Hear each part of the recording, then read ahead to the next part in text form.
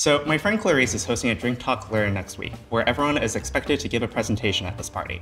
So I've been preparing my talk in Figma slides on why my dog Tortie would be a good candidate for the severance procedure. Overall, you know, my slides are looking pretty good, but I have this one where I'm outlining which perks my dog will like and feels like it needs some extra oomph. That's where Iconify comes in real handy.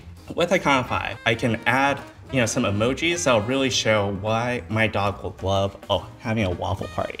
So if I search waffle, add some for party, and let's place these aesthetically. All right, that's looking right as rain. For my friend's event, there's also a coveted award for the speaker who can get their presentation closest to three minutes without going over. With Rehearse, I'm able to practice giving my presentation to see how long I'm spending on each slide. Let me run Rehearse, do a dry run from the top. Hi everyone, I'm here today to tell you all why my dog would be a great candidate for the procedure colloquially known as severance. Meet Tortie F, a dog that quite frankly has a lot of fears. As told through these eccentric circles, Tortie's fears include unknown noises, children, buses, and most of all, my partner Allison leaving for work.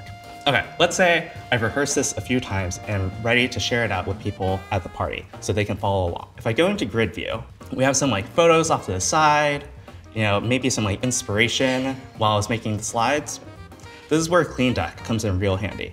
So with Clean Deck, I can have it remove everything that's not directly in the presentation. So if I click off slide layers, hit clean, now this deck is ready to be shared out. So these are just a few plugins that are now available on Figma Slides.